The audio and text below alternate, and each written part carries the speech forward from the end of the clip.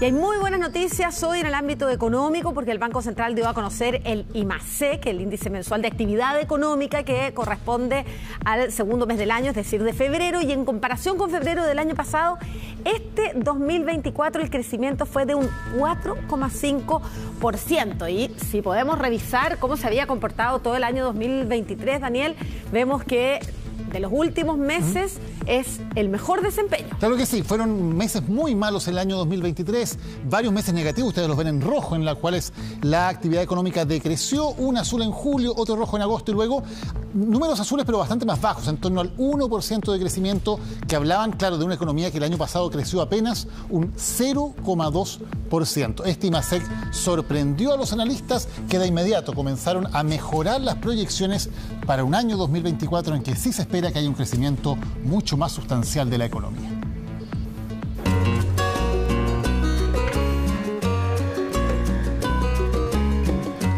Para nosotros principalmente somos una de las pocas tiendas de regalos que ven como en la antigüedad, digamos. Más de 40 años en el comercio, Walter ha pasado de todo. Tiempos muy buenos, pero también los más malos. Ha sabido reinventarse haciendo de todo para continuar con el comercio. Estos últimos años han sido complicados, pero dice que la cosa va mejorando. El mes de febrero del año 2024 comparado con el mes de febrero del año 2023, este año tuvimos un repunte de un 5% aproximadamente. Pero los precios de nuestros proveedores van subiendo. Entonces eso más o menos juega con, con el 5% que nosotros obtuvimos este mes de febrero. Un mayor movimiento de clientes y también más compras de los productos. Un aumento que ocurre tal como lo demostró el IMASEC de febrero, donde el crecimiento del país fue de 4,5% respecto al mismo mes del año pasado. Se confirma eh, que hemos entrado en una etapa de expansión de la economía eh, y que ese es un proceso que va a continuar a lo largo de todo el, de todo el 2024. Este es un proceso, por supuesto, acumulativo que se irá llegando progresivamente a los hogares eh, eh, chilenos. A pesar que la palabra IMASEC suene lejana, repercute directamente en su día a día, en cosas como por ejemplo el empleo, el salario o las tasas de interés. En la medida que la economía empieza a crecer, eso empieza a abrir nuevas oportunidades. Y eso es importante porque creo que también marca estas cifras positivas que estamos viendo el fin de un periodo de dos años en que la economía estuvo sujeta a mucha incertidumbre. El crecimiento de febrero no se veía desde mayo del 2022 y en esta oportunidad todos los sectores crecieron, incluso el comercio, que ha tenido durante este último tiempo un aumento bajo pero sostenido. El Ministerio de Hacienda, como ustedes saben, eh, tenía una proyección de 2,5% para el 2024. Eh, eso se situaba en un extremo de la distribución de las proyecciones. Hoy día todas las proyecciones están moviendo en esa dirección. Por otro lado, un factor que también es clave cuando el país crece son las tasas de interés o la tasa de política monetaria que desde agosto del año pasado ha ido a la baja. Ya muchos están anticipando una rebaja en la tasa de política monetaria en torno a los 75 puntos base, 50 puntos base. Entonces todos estos factores también van a ser coadyuvantes para que la actividad económica eh, se mantenga en estos niveles.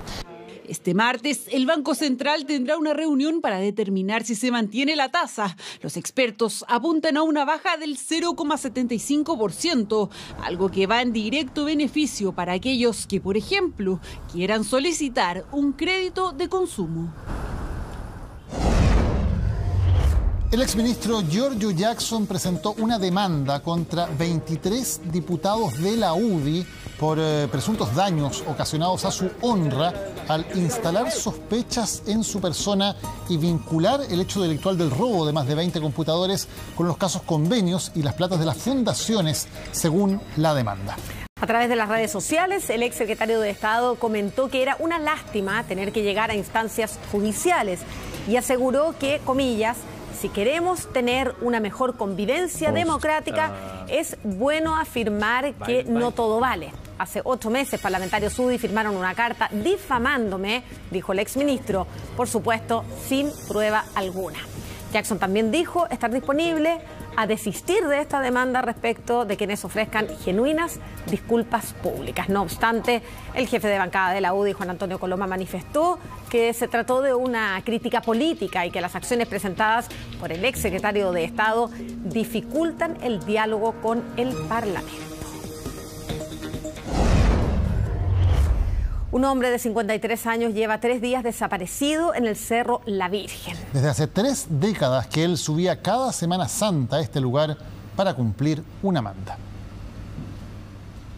Él ingresa al, al, condominio de, de Águila Sur, pero no hay, no hay indicios de salida.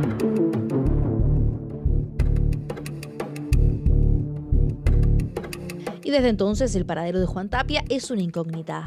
Desde hace más de 30 años que realizaba esta manda y ahora todo cambió. El día viernes, este hombre de 53 años haciendo su habitual visita al Cerro La Virgen a la altura de Angostura.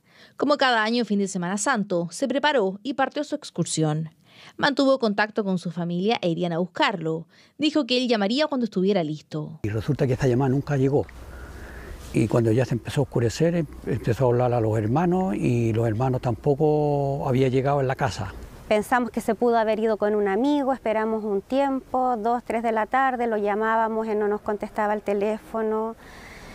Eh, como no pasó nada, eh, nos empezamos a angustiar, fuimos a su departamento, estaba el auto estacionado en el estacionamiento a la casa de mis suegros, porque él tiene la tradición de que cada vez que viene al cerro, llega a la casa de mi suegra porque es súper apegado con ellos, es muy preocupado de sus papás. Pasaron las horas y no hubo mensajes, menos llamadas.